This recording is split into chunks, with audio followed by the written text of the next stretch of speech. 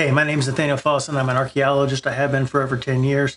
And this channel is dedicated to the archaeology of North America in the region that we call the Eastern Woodlands, especially prior to European colonization. Now, I've taken a very long break from this channel. Uh, that's mostly because I've been I've spent the most of this last year working as a field director on some survey sites in Arkansas, and I really just didn't have the time for it, and uh, wasn't really feeling inspired to do much uh, do much content creation. But now I'm off that. I'm back to excavation based work, and I'm starting to get some kind of ideas of what to talk about again.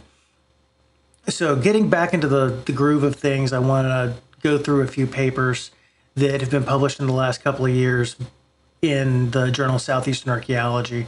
Today, specifically, I want to talk about archaeological monuments and ceremonial sites.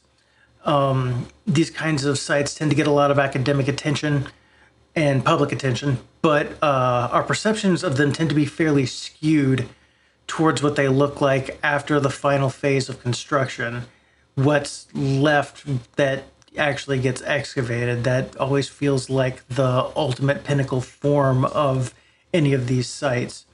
So we can consider, for example, Poverty Point. At this site, there's Mound A, which is the largest mound there, and it's such a defining feature of that ceremonial site, this ceremonial complex, that it's hard to imagine Poverty Point being a thing without Mound A, but Mound A was one of the last things constructed there. So if we're thinking about this site in terms of its total use life, we have to erase Mound A until the very end. So we have to understand that these kinds of sites have life cycles and everything constructed is not necessarily meant to be permanent. This degree of impermanence with structures specifically is what Tom Whyte and Alice Wright are trying to explore in this paper from 2023. The study is all about the remains of wooden posts. In most cases, a post that is put in place will rot where it sits and this leaves behind a cast of the original post usually in like a darker greasier soil called a post mold they're round cylindrical soil stands and we can identify these during excavation in other cases the posts have been deliberately pulled out and the hole is filled back in also deliberately if this fill is different enough from the surrounding soil matrix, if they filled it back with something not the same, is the, the soil that was dug out in the first place. For instance, uh, if the backfill is full of gravel or artifacts or something like that, we can also identify these these locations as uh, post holes. Oftentimes, we'll get constellations of these post holes and post molds that form circles or rectangles, and that shows us where structures were in the past so the outlines of architecture. These kinds of features are the sorts of things that artifact collectors regularly destroy digging up sites because they're not looking for them. They're looking for the objects, not the material correlates to architecture that's not there anymore. Tom and Alice start out by pointing out that while the permanent structures that people built into the landscape are obviously very labor intensive and important, uh, ceremonial sites also include important structures that are built and deconstructed regularly, perhaps annually, as part of particular feasts or celebrations or festivals or whatever. They use maypoles as an analogy for this. Maypoles are put up on the May 1st of every year and then taken back down at the end of the month during certain celebrations in Europe. Tom and Alice see a similar cycle of construction and deconstruction at two Hopewellian sites in the Appalachian Summit region dating roughly between 1800 and 1400 years ago.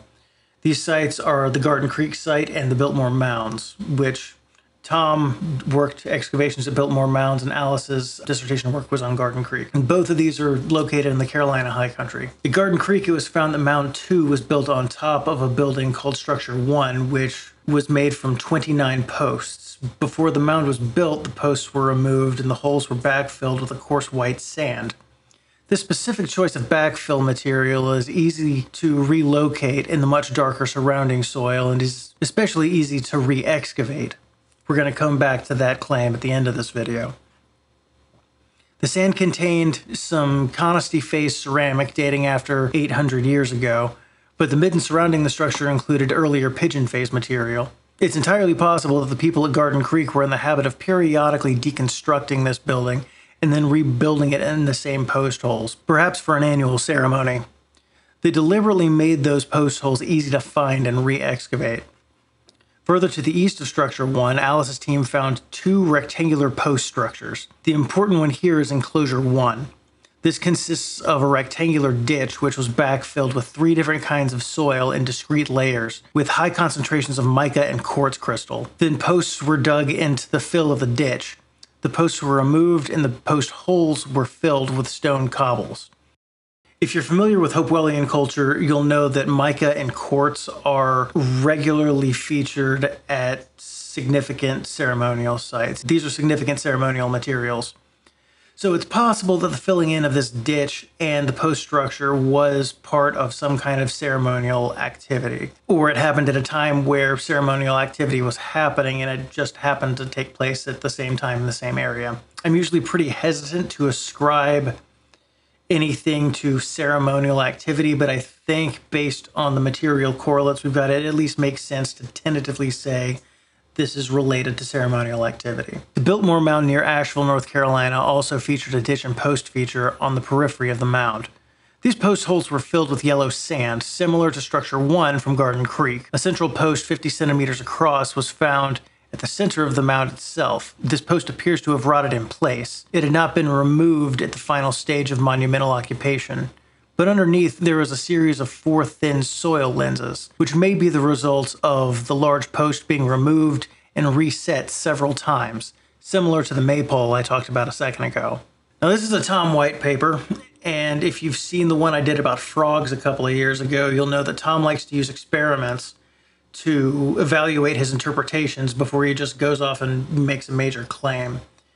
Uh, and one of the major claims of this paper is that the posts were being pulled and backfilled with deliberately discrete soil, like deliberately different colored or different textured soil, uh, so that they'd be easier to find and re excavate and then build whatever the thing was back on top of it again. Think like rebuilding of a big circus tent or whatever on the same spot over and over again. So Tom had his students dig out 12 post holes. And he did this in the middle of winter when the ground was frozen to replicate the most difficult time of year that you could do this.